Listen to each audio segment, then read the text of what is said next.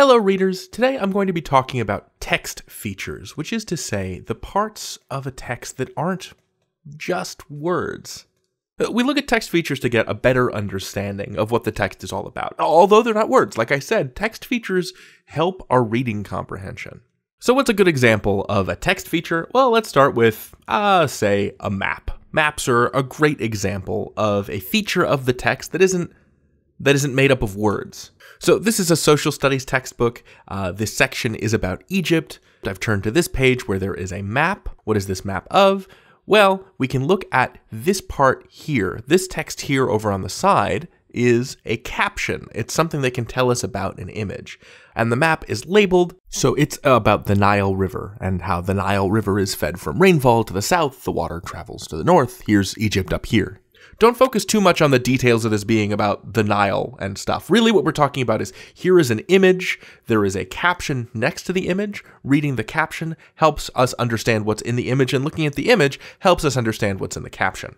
So we've got maps, we've got images, and that can be illustrations, photos, blueprints, anything really. Uh, and if we go back to our social studies textbook, we can see here there's this image. And just looking at the image on its own, we might not be able to tell what that is exactly. But again, there is another helpful little caption over to the side that says this is an aerial view of the Nile. So now we know what this is.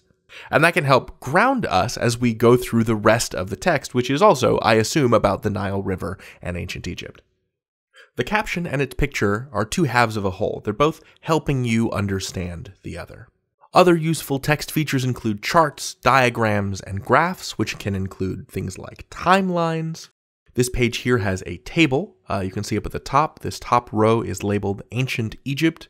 And then on the left, we have all the different periods of Egyptian history. And on the right, all the dates associated with those periods. There's also a timeline in this lesson, and this one has a bunch of different text elements, right? So we have, it's not a traditional looking timeline, uh, but you can see that it's arranged from top to bottom, uh, oldest to most recent.